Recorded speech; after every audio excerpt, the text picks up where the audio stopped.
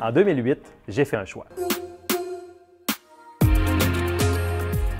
Que j'ai aimé le plus de la formation que j'ai suivie, c'est que rapidement, euh, au début de la formation, je me suis vraiment développé une passion pour l'informatique. Ça m'a permis de rentrer dans un domaine qui m'a vraiment fasciné.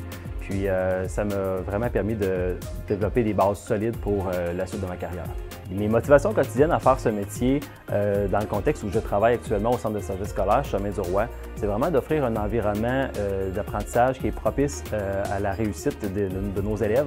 Ensuite, c'est vraiment le fait que c'est un métier dans lequel on a constamment à apprendre de nouvelles connaissances. Et puis, il y a l'aspect travail d'équipe qui est très important pour moi et qui est très motivant puisque il y a plusieurs champs de spécialisation en informatique, donc on n'a pas le choix de se regrouper en équipe pour atteindre nos objectifs puisque c'est un domaine qui est en perpétuel changement. Donc, évidemment, euh, on doit continuellement aller chercher des nouvelles connaissances. Donc, euh, ça représente un défi en soi. Ce que je dirais à quelqu'un qui veut faire le DEP en informatique, c'est euh, qu'il ne faut pas avoir peur du changement. Il faut l'accueillir comme une opportunité de développer des nouvelles connaissances.